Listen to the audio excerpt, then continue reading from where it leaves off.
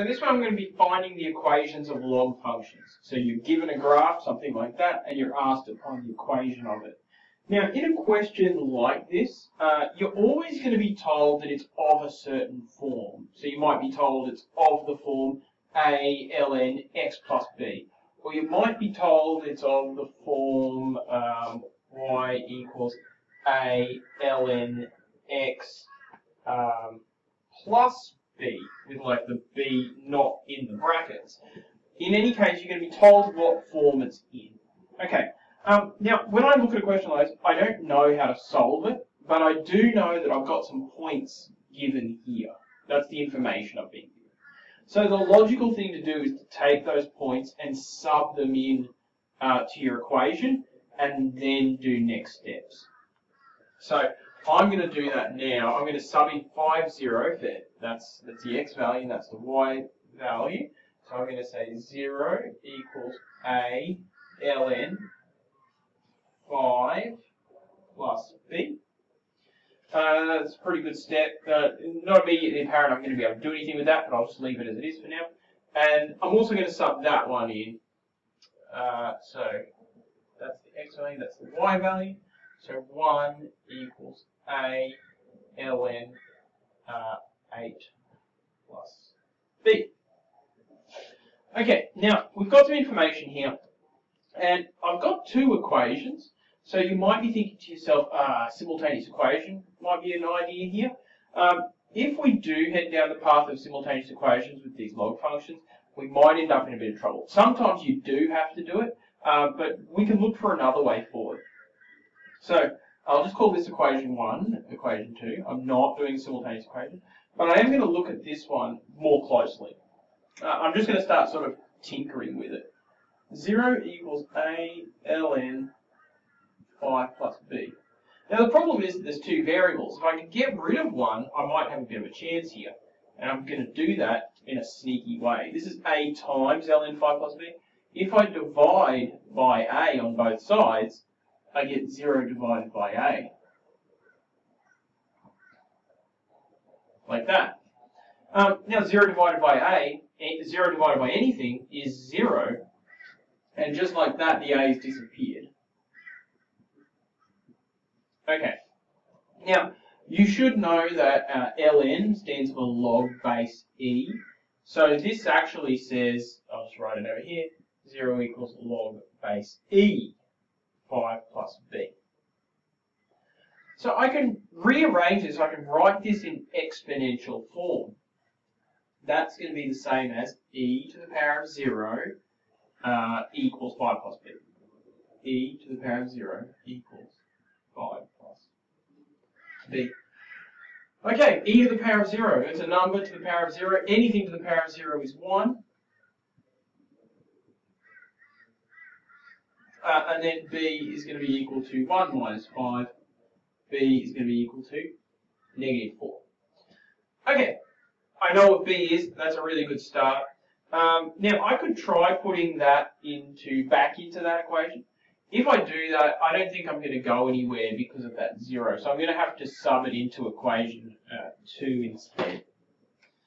Sub b, uh, negative 4 for b, into equation 2. Alright, so we have 1 equals uh, a ln 8 minus 4. 1 equals a ln 4. Uh, what can I do with that now? Uh, I guess I could uh, divide by ln 4, if I could say a is equal to 1 on ln 4. Now you could uh, type 1 on ln 4 into your calculator, but it's just going to be some weird, weird decimal. Uh, but we can just keep it like that. If this is a non-calculator test, we're actually kind of finished now because we've got an A value and we've got a B value. And so we can give our final answer for the equation. We can say that y is equal to A, which is 1 on ln 4, uh, ln x minus 4. And that is my answer to that question.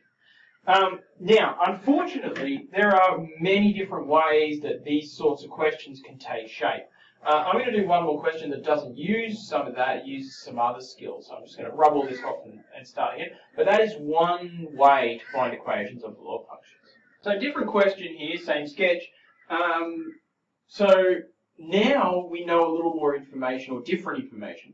I'm telling you the asymptote is x equals 3 and there is one point, 28, 2. We don't know what that point is. Now, find the equation with the form y equals a ln x plus b. Now, you need to use your knowledge of log functions here. You should be able to tell me what one of either a or b is straight away. If we look at that asymptote, it represents the, the uh, horizontal shift. So that tells us our b value straight away. b equals, the opposite of that, negative 3, because asymptote. So that's pretty straightforward. y equals a ln x uh, minus 3. Uh, from here, it's a really straightforward process. We need to find out what a is. We can see that there's a point 28 on 2, 28, 2. Uh, there's that x and our y value. So I can sub that into my equation. Sub 28 on 2.